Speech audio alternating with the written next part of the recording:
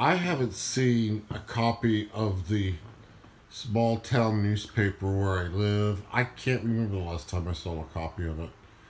And someone brought one to me today, and I couldn't get beyond the cover, the first page. There was a picture of the principal of the local high school and the proud recipient of the winner of the, I don't know if it was local spelling bee or statewide. I, I didn't even go into it. And there they were, both proud, standing proud and tall, wearing their masks. You see, I can't can't stand it anymore. Uh, this is the principal of a high school. She's supposed to have some brains, and she doesn't. Or if she does, she's not using them.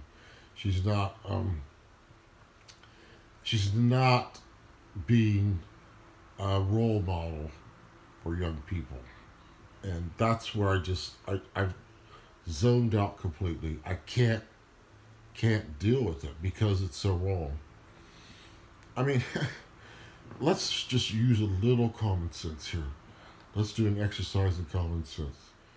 Okay, supposedly more than two thirds of the country country have got the snake bite, and yet they're still requiring masks. Okay, wh- where's the sense in that? Um, then on top of that, they're getting the double doses of the snake bite, and they're still requiring masks.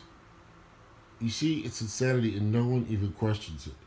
And then they were told that they wouldn't have to get dose number two or dose number three, and now they're just going along with it because they're being told, no, you have to get it because it will protect you from a variant of this or that.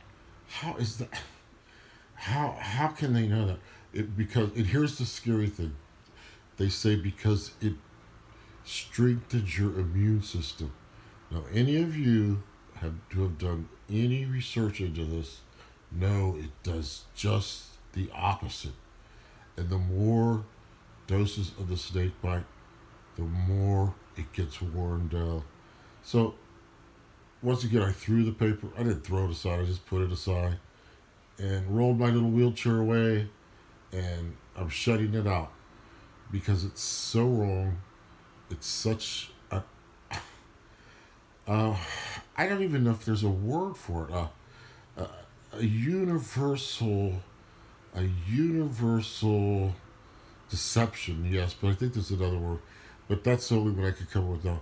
This gross universal deception, and they're all going along with it, except for a tiny handful.